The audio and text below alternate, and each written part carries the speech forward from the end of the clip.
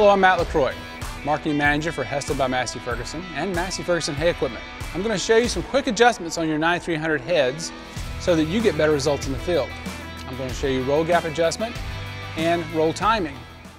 Your roll gap adjustment, sometimes you might want it more aggressive or less aggressive depending on your crop so you can have a better crimp.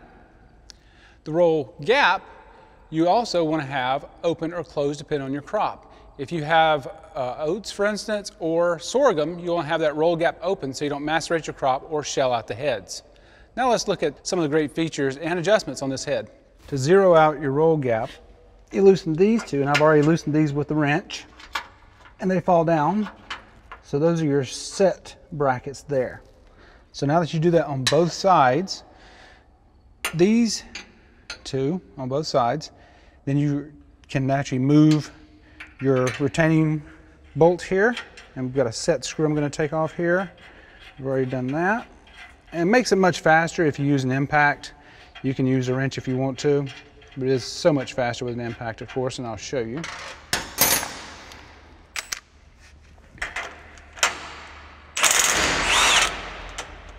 Now that I've taken pressure off, you can see there's a gap here. And since there is a gap here and you have taken that bottom bracket off, you can see all of the pressure on the roll is down. We'll also do the same thing for the front side since this is a 9316D Twin Max double conditioner.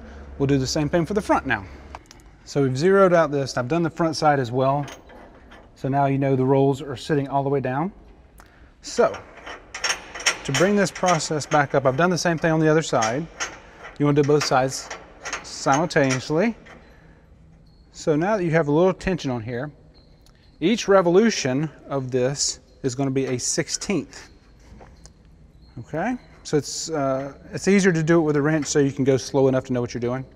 Okay, so I have a mark on here, and every time that mark comes around, it's a 16th of an inch.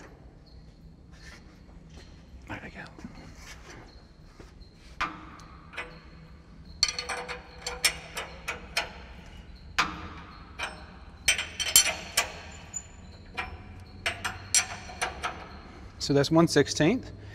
And then we'll set it to the factory roll gap, which is 1 8th, and go around one more revolution.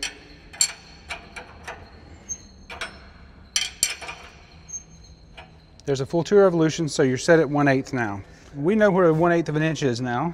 We raise up these brackets to hit this part right here.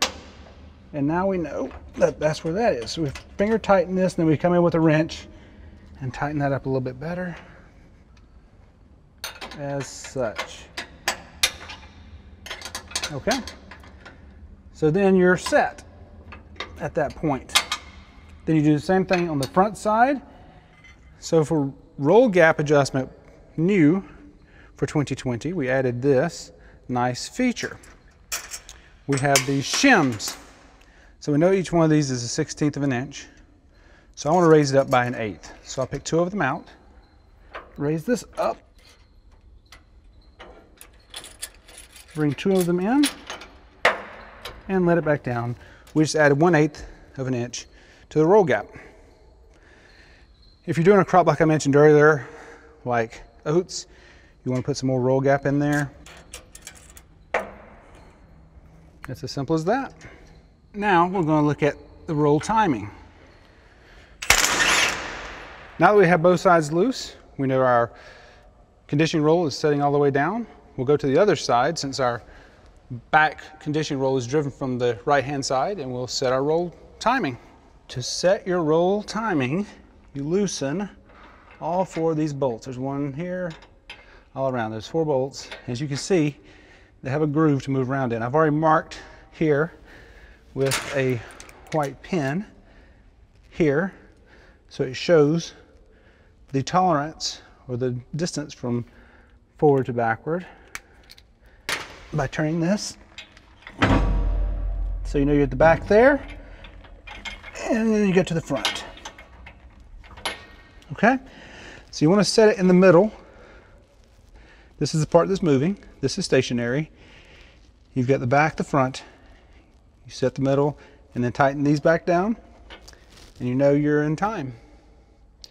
If you want to be a little more aggressive, sometimes you can move this a little forward depending on what crop conditions you have and how you like your crop crimped. And now we've come around to the left-hand side of the header. We've already set the timing on the rear rolls on the right-hand side. Now you set the timing of the front rolls on the left-hand side here. Do the same thing, loosen those four bolts as I showed you, mark your tolerances on both sides and set it in the middle unless you need a more aggressive crimp. Now we're going to show you what happens with a swath board deflector. To widen or narrow your windrow, you can use your swath board for a quick adjustment.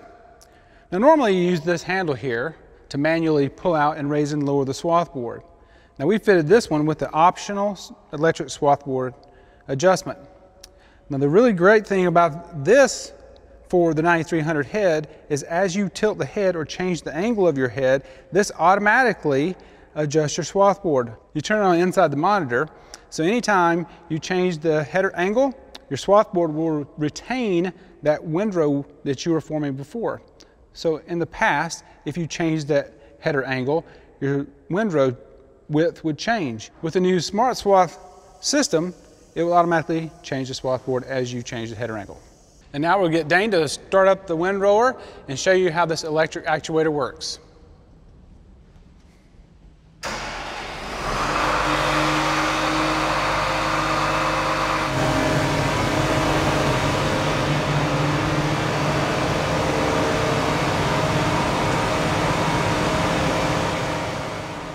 Now that you've set your swath board, you can adjust your forming shield. Now keep in mind, if you have your swath board all the way down and you're laying that really wide flat windrow, the crop never comes into the forming shield, so whatever adjustments you make here don't matter. But if you do want a narrower windrow or you have lighter crop, the forming shield is your friend. We have more adjustments than anybody on the market, and let me show you what those adjustments are. So your side shields here, you can slide these back and forth as needed to narrow up your windrow. There's one on both sides, and it's easily adjusted through loosening this. Uh, it has a spring tension up front, and there are notches here so that you know that both sides have the same width, okay? So then, as your crop's coming through, you can adjust this rear pan up and down to drive the crop down. So as the crop's coming through and it gets formed into a windrow by your side shields here, you can hit this and you can adjust this up or down to drive the crop down. So it's all with the geometry of how the crop's coming through and how it forms your windrow for the best results for your field. Another adjustment you can make is to raise and lower the height of the forming shield using these chains. Now you want the forming shield to run flat with your header in working position. If you're running a triple windrow attachment, or you're running some specialty crop, you may want to raise this higher. Now we're in front of our 9300 disc header. I'm going to show you how to change the blades here.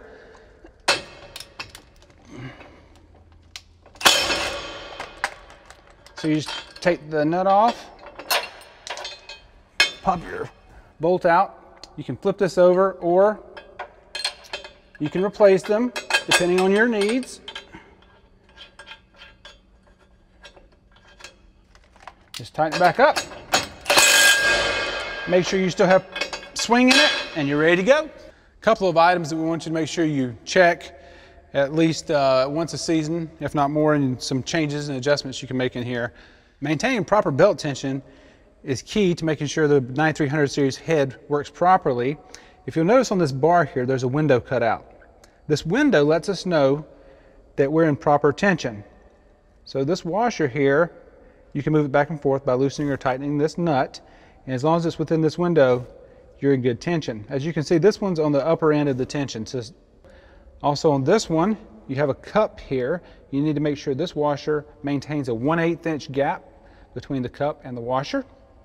And your other belt tension is right down here. On your cage belt drive, to maintain proper tensioning, make sure this washer stays within this window on the bar here. For ease of maintenance, a lot of your pivot points on the 9300 series header do not have grease zerks.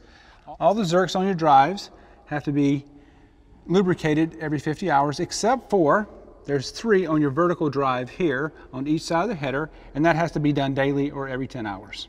You set your header angle from the cab, but to make sure it has a smooth ride across the field, you'll want to set your skid shoes. Let me show you how to do that. First, remove your two cotter pins. Then you can pop these pins out.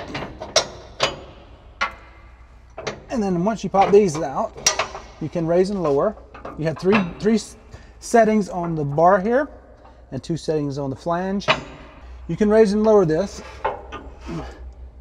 to fit your crop conditions as needed.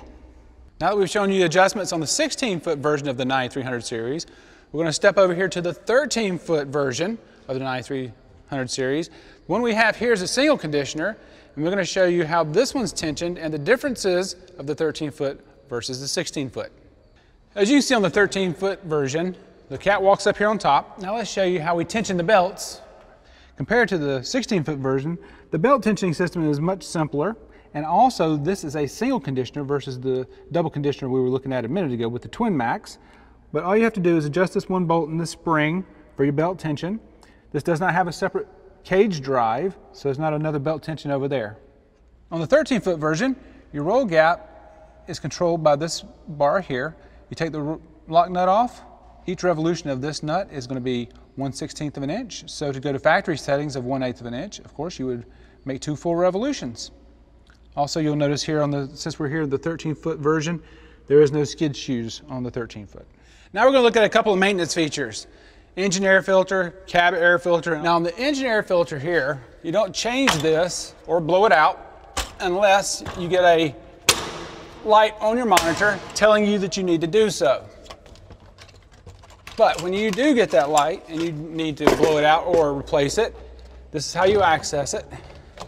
This is your filter. Now your secondary element doesn't have to be changed or blown out, but this one would be.